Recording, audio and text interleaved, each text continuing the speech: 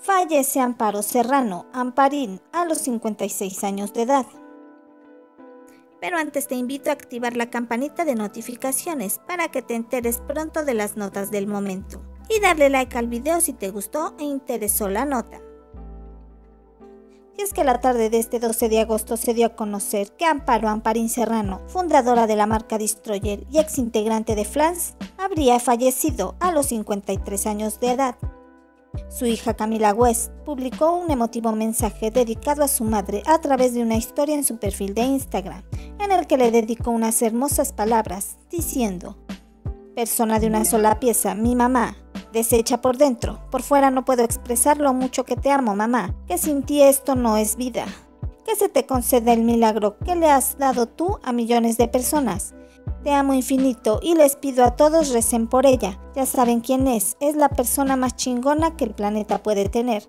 Mi mamá, querida, te amo con el alma y te abrazo desde otra dimensión, en la que no nos podemos ver ahorita. Recemos por ese milagro. Minutos después Camila West compartió una serie de imágenes en las que también publicó el siguiente mensaje creadora de mi ser, del de mi hermana de Destroyer, fanática de hacer sentir bien a la gente, apoyadora a todo México y medio mundo, en todos los sentidos, mamá, hija, abuela, hermana, amiga. ¿Cómo te pudiste ir así si tenías tanto por delante? No entiendo el protocolo de esta vida, y menos sin ti. Eras mi guía, mi succionadora de problemas, mi mundo entero en una persona, mi mamá querida. No tengo palabras ni fuerzas para escribir lo mucho que te voy a extrañar. Pero ¿quién fue Amparo Serrano?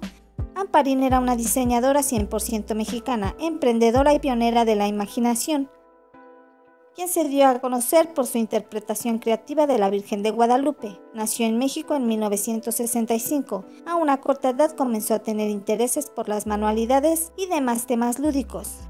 Más tarde Amparo, o mejor conocida como Amparín, fue la creadora popular de la marca Destroyer, la cual cuenta con libretas, juguetes, juegos de mesa, ropa y un sinfín de objetos con un diseño alegre y colorido.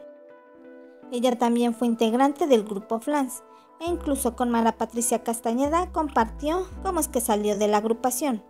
Sin embargo, dejó huella en el medio artístico y ahora en las artes visuales. Descanse en paz. Amparo Serrano Amparín.